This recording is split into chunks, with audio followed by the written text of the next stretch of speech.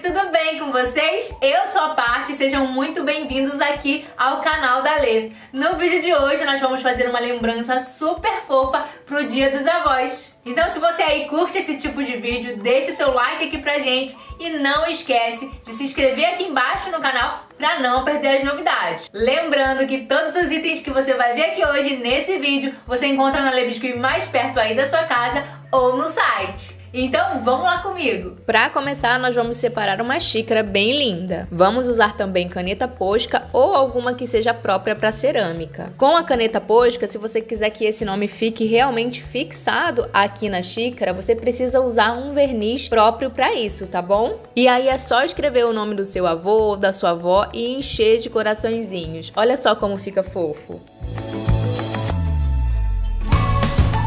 Em seguida, eu vou recortar em tirinhas o papel seda. Depois é só abrir ele e destacar assim.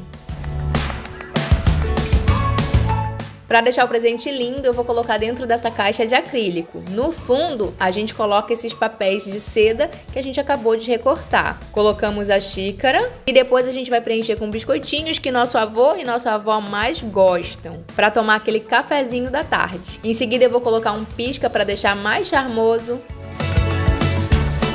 e vou colocar duas fitas, uma mais larga embaixo e uma mais fina em cima. Aí na lateral eu vou amarrar e dar um laço bem lindo também. Olha só que coisa fofa, gente! Qual avô e avó que não vai gostar de receber um presente assim, super carinhoso? Deixa aqui embaixo nos comentários o que, que você achou, hein? E se você vai fazer na sua casa também. Então, gente, vocês gostaram do vídeo? Viu como com coisas simples a gente consegue trazer algo muito especial pra presentear aquela pessoa que a gente ama? Eu tenho certeza que seu avô ou a sua avó vão adorar receber esse carinho de você. Me conta aqui nos comentários se você vai fazer na sua casa também. Não esquece, tá, que todos os produtinhos do vídeo de hoje você encontra na Lê mais perto aí da sua casa e também no site. Olha, um beijo no coração de vocês e até a próxima. Tchau!